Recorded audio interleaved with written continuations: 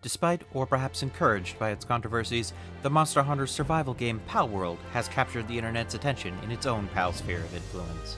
Players around the world, both at home and in the realm of content creation, have leapt to get this refreshing take on the Monster Collection genre spin, and doing so, they found an addictive world of both wonder and familiarity to adventure in. There's no question that Palworld carries its inspiration for the despotic king of creature collection games, Pokemon, on its sleeve, which makes it predictable that fans of Pokemon would attempt specialized runs known as Nuzlocke in Palworld. However, Nuzlocke rules were designed for the typical turn-based random encounter role-playing games that Pokemon is known for, and, in spite of its many similarities, Palworld is not such a Pokemon game. With other heavy inspirations such as Ark Survival Evolved, and Zelda games like Breath of the Wild and Tears of the Kingdom, it is clear that the standard Nuzlocke rules cannot play justice to the heart of why Nuzlocke was created, to give an appreciation to the deeper mechanics and less popular features of a monster collection game. The following rule set is one man's attempt to capture both the love and importance of each creature in Palworld while placing more emphasis on the environment, survival challenges, and sense of adventure that Palapagos Islands have to offer. Hello, I am Kalar and this is my take on a Palworld Nuzlocke. Welcome to the Pal Party.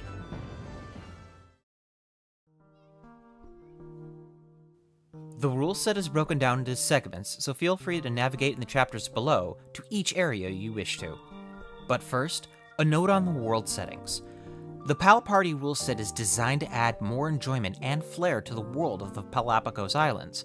It is meant to be accessible and customizable for each run so that players can enjoy the challenge at any level they wish. As such, it is asked only that you leave the raid settings on, as the fail mechanics of the rule set rely heavily upon the rating mechanic. All others can be tailored to your playstyle and desire for a challenge. The game rules begin upon obtaining your first PAL or setting down your first PAL box. You may prepare as little or as much as you wish prior. The objective is to conquer all towers and bosses on the map while successfully defending your base and keeping as many pals as you can alive. The rules for obtaining pals are quite different than the typical Nuzlocke rules, so please look carefully. Rule number one, you cannot catch pals with pal spheres. This also means pal spheres cannot be crafted, but exceptions can be made to clear the tutorial if you wish. But items and pals gained this way are not a part of the pal party run and should be discarded. Pal spheres can still be collected through all non-crafting means and sold at markets, but you may want to hold on to the best of them if you wish to use the optional rules later on in this video. All other means of acquiring pals in any applicable way is fair game, which includes rescuing a pal from faction camps, hatching a pal from an egg in an incubator, or purchasing a pal from pal traders. However, please note, the first pal of a species obtained becomes locked and cannot be replaced under normal circumstances. This pal must be named, and all duplicates henceforth are named fodder at the first opportunity.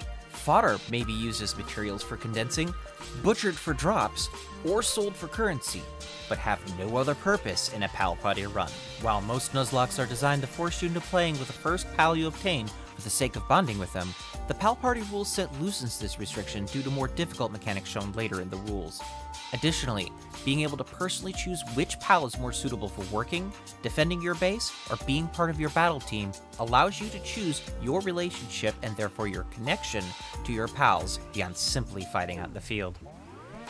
Base management, design, development, and defense are part of the primary mechanics in Palworld. The Pal Party rule set places greater emphasis on creating a singular home base players will settle into and grow attached to. The base is the village of pals for the run and a core component for survival and defense in both Palworld and the Pal Party rule set. The first PAL box you set becomes your permanent base and may not be relocated normally. This base cannot be put in a location that cannot be raided as it is essential to the run. As a result of this restriction, all other base permissions become known as camps to the rule set, which we will go over shortly. While there is no mechanic currently available for this in the game, it is encouraged that you name this base for the sake of immersion and attachment, much like naming your pals. When first creating your base, the number of incubators and breeding farms you are able to create are restricted to one. This becomes a progression mechanic later in the game. All available pals that are not named fodder must fill the available base slots for pals. Fodder cannot actively be used in base and must remain in the pal box until consumed. Camps are PAL boxes that are not used for primary base and come with their own rule set. The idea of a camp is that of a temporary residence primarily used for your party members, like camping in locations in RPGs. You may have a few chosen comforts similar to a town or your base, but they are, by their nature, limited. With that in mind, we'll go over the rules. First, camps cannot be placed within 200 meters of a base, a tower, or a traveling point. This is important to prevent exploitation of the world travel rules we'll list later, as well as encourage exploring and finding more remote areas of the world to camp. Camps can contain up to four food, production, or PAL structures at a time. However, it cannot contain beds for PALs. As PALs in your inventory regain sanity based on your own bed and sleeping habits, this is to prevent overusing your PALs from PAL boxes. You are free to use your base slots with PALs in camp, but they won't be able to rest properly and you will risk both their health and sanity. All other structural items such as lights, foundation, and furnitures may be used normally. Finally, a player may freely teleport from base location to a camp. However, if the player teleports from camp to the base, the camp's PAL box must be destroyed via the option in the world menu immediately after. Structures that survive this process may remain unless a failure condition is met. We'll be going over failure conditions later on in the video. Here are some additional rules that tie up some loose ends, such as travel and progression. The islands are absolutely littered with fast travel points, making the game itself easy to travel from point to point, an effort to speed up processes like exploration and base development. However, in the PAL Party rule set, the travel points can only be used to return to base. The only fast travel points you may travel back and forth to freely are the towers you have defeated. Additionally, you may unlock one of the additional breeding farm and one additional incubator for each tower you have defeated, making tower progression a crucial component for the game. And now we get to the dangers of a PAL party run, the failure conditions. These rules are designed to add the element of risk and consequence and serve as the tragic necessity for any story up to and including its end. So, with that said, here are the failure condition rules for the PAL Party rule set. Any named PAL in a player's party or base that faints for any reason is permanently killed, and no other PAL of the same species can be used to replace them. The player is locked out of that PAL species as playable for the remainder of the run. All fodder of that species can still be utilized normally. However, if the player faints, all pals in the player's position are considered dead and locked out of use as if they fainted as well. This means failure in a tower fight or a dungeon can drastically alter the player's course in a PAL party run. The player fainting in camp or fleeing in camp during a raid destroys all structures, supplies, and active pals deployed at that location, on top of the normal player consequences should the player faint. The resources remaining in camps must be abandoned or discarded manually. Fleeing a camp does not mean the player must abandon the use of a camp, but it does mean they must start over. Fleeing a base during a raid additionally destroys all pals and fodder in the pal box, and the base location is no longer usable for the remainder of the run. A player cannot place a new base or camp within 200 meters of the abandoned base location. However, if the player is defeated while defending a base from a raid, the run is over. The run will also end if the player is defeated while having no pals in their party. These are the only two conditions in which a PAL party runs ends. For a multiplayer run, all rules treat every player in the game as a single player playthrough, meaning pals are divided between the players. No two players can have the same pal, and a pal that is lost by one is lost by all. Also, if any player dies without pals or dies defending the base, it ends the run for the entire team, so be sure to protect your allies. So that covers the base rules for a PAL Party run. But as an added spice, there is additional mechanic for the PAL Party rule set that offers a mechanic I'd like to call Alphalusion.